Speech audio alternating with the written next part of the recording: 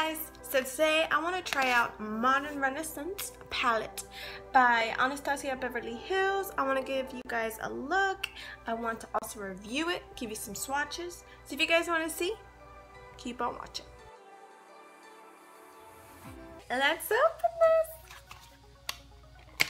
I'm so excited for this, you guys. Like, obviously I saw all the colors, what's going to be in it. So that part's not a surprise. Wait. You guys, hold up. Hold on. This is suede. This is a suede covered palette. I did not know that. Ooh, guys, what? So that's cool. One point for that. One thumbs up for that. Oh my god, you guys. I love this. I love this. Look at the arrangement of colors. Look at those two pinks. Look at the orange. We got some glimmer shades. We got some berry shades, some neutral shades over here. Shaw, I'm so excited to play with this. So, one thing I love about ABH ABH's eyeshadow palettes, they always come with a brush. And it's a legit brush. I'm excited to play with that. Oh my god, you guys. Let's swatch it first, shall we? Alright, so I'm first going in with Tempera. Reminded me of Tempera. Wow! This is freaking pigmented. Wow, that is creamy. Okay. Next, Golden Orange Orchard. Wow. It's a good blending transition shade because didn't really show up too well. I'll show you guys after I swatch it. These are the top seven shades. Can you guys see that? Okay, so we first have Tempera. Then we have Golden Orchard, which you guys, I said, was kind of, you can't really see on my skin. So it'll be a good transition shade.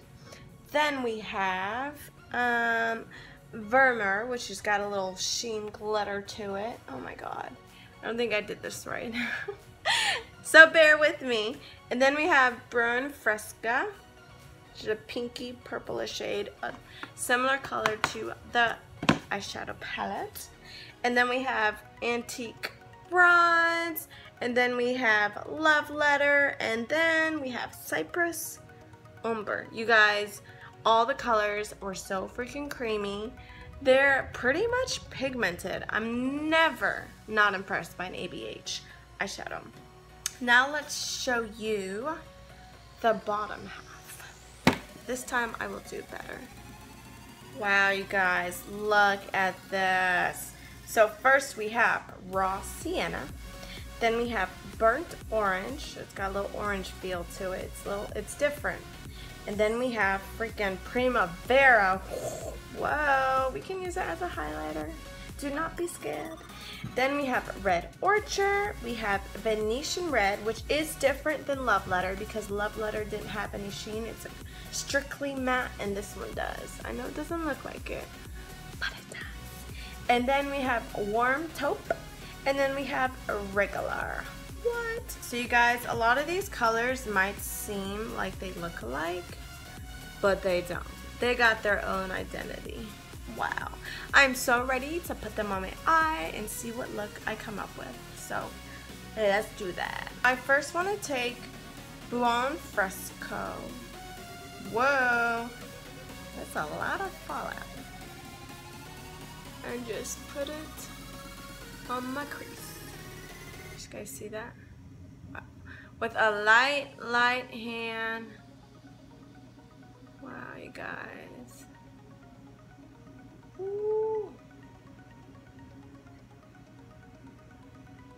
Let's put a bit more.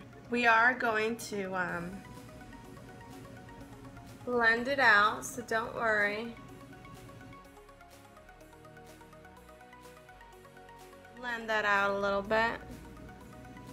Just take a your favorite blending brush and just blend it. I'm using the Sephora blending brush. Number 27. I'm gonna pack on my eyelids with a color.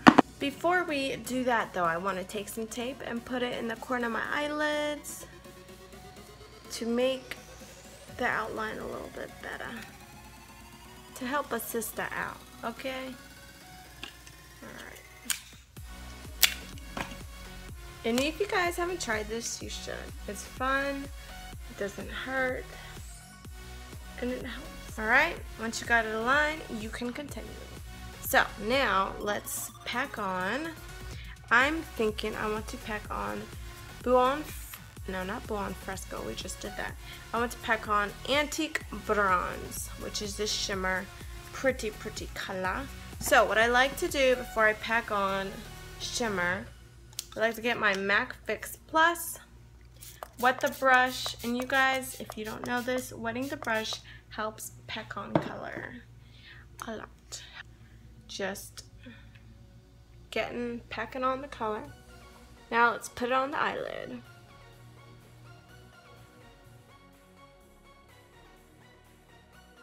Lightly pat it. Lightly. It's okay if it starts falling out because we'll work with that. And try to keep your eyes open and head tilted so then it won't spread because we want this to dry. Back on some more. And if you guys can't see me doing this eye so well, you'll see with this eye what I do. Kind of giving it a curve, you know and lightly packing it. Now I notice there is a lot of fallout in these eyeshadows. A lot, a lot, a lot. So it's kind of clumping when I spray it and put my brush in the eyeshadow. So be careful with that. Alright, once you like it, then you go to the next side. So let's spray again. And lightly press the eyeshadow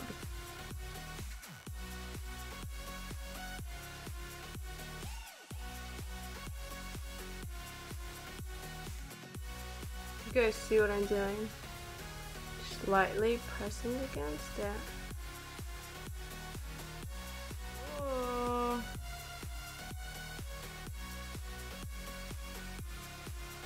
So, I add a little more transition shade to kind of blend in a little bit better. But I'm feeling a little pink right here, lightish pinkish. So I'm going to put, oh wait, there's not a light pink. So I think I'm gonna put a little orangey feel to it, just to the transition to the top. So get your brush and let's do burnt orange. Let's do a little bit of that. Let's just put it in the inner corner. Now you guys, I have no idea what look I'm going for. I'm just kind of, kind of winging it. Um, but I'm just putting it in the inner corner.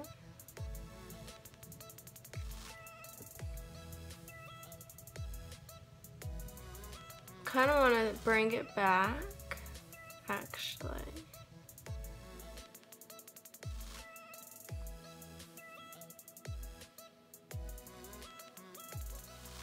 Yeah, do you guys see that? Alright, so I want to blend it out because, I don't know, I'm like really scared right now. I'm hoping this turns out okay. We shall see though. We shall see. And don't worry about fallout for here.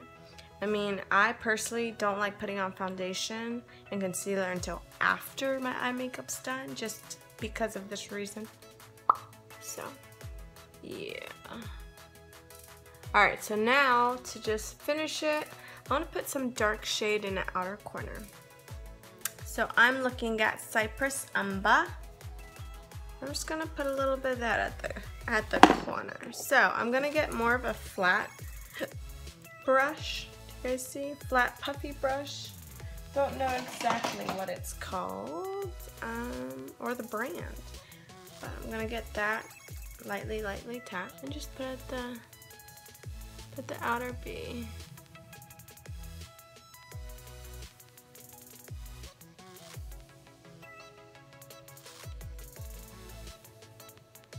Uh, mm-hmm. Give it a little darkness to it, to this look.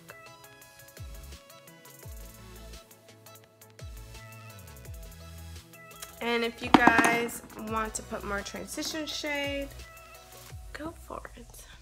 Because I feel like I just want just a little bit. I'm feeling a little white right here.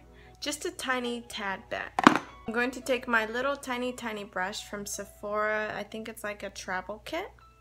Um, I'm going to take Vermeer, this one, lightly pat it in. Just kind of put it, just very, very lightly. Very lightly. Put it in the inner corner.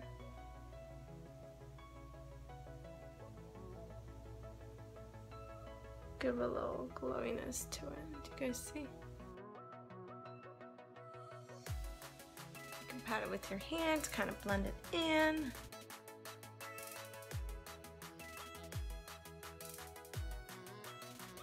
Your hands, you guys, are miracle workers. They, because the warmth they have to them, because you know your body's warm, they blend in really, really good. All right, let's hope for the best. Time to take the tape off.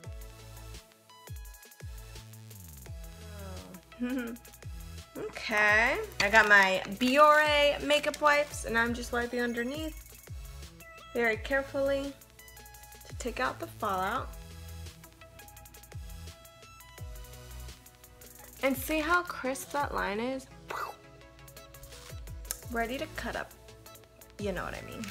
Now, I'm gonna put the rest of my face on, but behind the cameras, so I'll be right back. As I was adding the rest of my makeup, I was thinking I want a bottom color. I want a color on the bottom of my eyelids. So, I'm going to pick, let's see. I'm going to pick burnt orange first and see how that looks. Can't really see it. So, with that said, I'm actually gonna do red orchard. Lightly pack on with a little flat brush.